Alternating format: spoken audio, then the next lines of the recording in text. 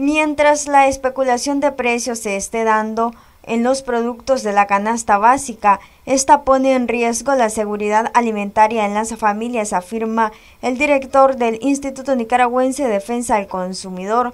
Claro que sí, porque mira, por ejemplo el frijol, te voy a decir, hay gente que te compra el frijol para la semana, hay otros que te compran para la quincena y hay unos que te compran al mes.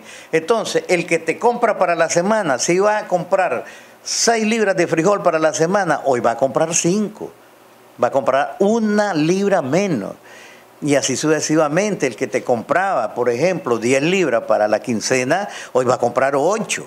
O sea que se viene limitando y eso significa darle un poquito menos ah, en el hogar a, a, los muchachos que, están en ese núcleo familiar. Mientras no se controle la especulación, pues lógicamente aquí el costo de los productos van a seguir eh, dando el precio que ellos quieren. Porque el productor, si vos te vas donde el productor, el productor te dice, yo lo sigo dando al mismo precio, yo no le he aumentado. Entonces, el que llega a comprar y le compra toda la cosecha, ya sea de papa, ya sea de o los frijoles, y se la compran toda de un solo, entonces esos son los que hacen aumentar el costo. Y el que sufre más es el consumidor final.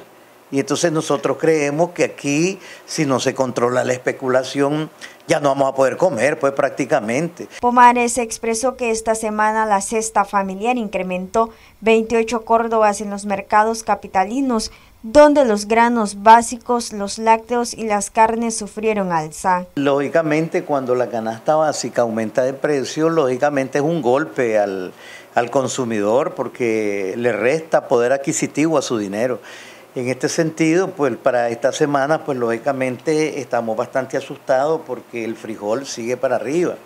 Pasó de 25 Córdoba a 26 en el oriental. Ya en las pulperías cuesta 30 y 32 Córdoba una libra de frijol, dependiendo la calidad del frijol.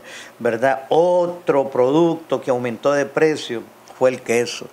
7 Córdoba aumentó el queso, pasó de 38 a 45 Córdoba. Otro producto que aumentó fue el pollo, pasó de 34 a 38 Córdoba, 4 Córdoba. Los 4 Córdobas que había bajado la semana pasada, hoy aumentó y queda en el mismo precio.